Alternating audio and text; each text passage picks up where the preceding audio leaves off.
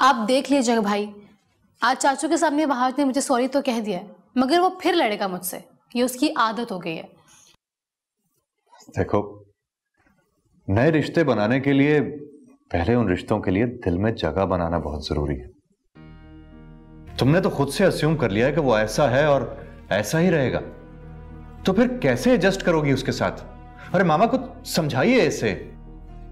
मैं समझाती हूँ। भाई आप तो हमेशा से चाचू चाची और वहाज की साइड पर बोलते आए हैं। इसीलिए तो आपको मेरी कोई बात समझ नहीं आती। क्योंकि मैं तुम्हारी तरह फूलिश नहीं हूँ। मैं अपना हर फैसला सोच समझ के करता हूँ। यही ना कि मेरी और वहाज की शादी के बाद आपकी हसन ग्रुप ऑफ़ कंपनी और भी मज़बूत हो जाएगी। नॉट फेयर मारा नॉट फेयर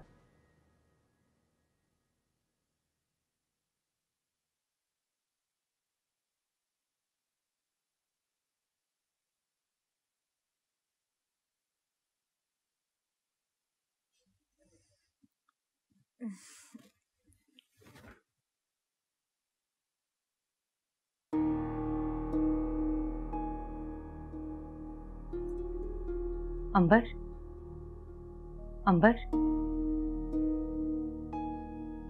क्या हुआ बच्चों? सुबह नहीं है। बाथरूम में होगी?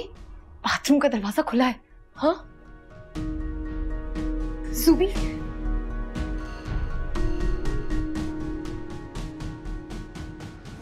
बिज़नेस रिश्तों को मज़बूत नहीं करता।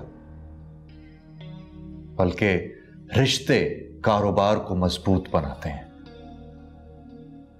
आई एम सॉरी मामा। लेकिन मायरा बहुत गलत बात कर रही है। इसे चाहिए कि वहाज से फ़ौरन अपोलोजाइज करे। मैं समझाती हूँ इसे। और यह भी समझाइए कि इन छोटी छोटी बातों के पीछे एक कीमती इंसान को खो नहीं देना चाहिए।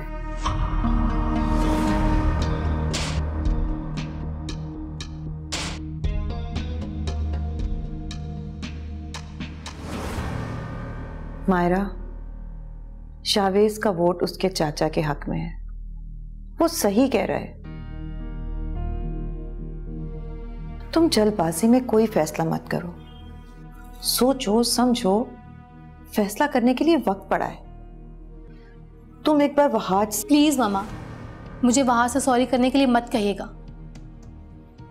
अच्छा मत बोलो उसे सॉरी मगर दरमियान का कोई रास्ता तो निकाल सकती हो। तुम उससे बात तो करो। अच्छा मैं करती हूँ कुछ।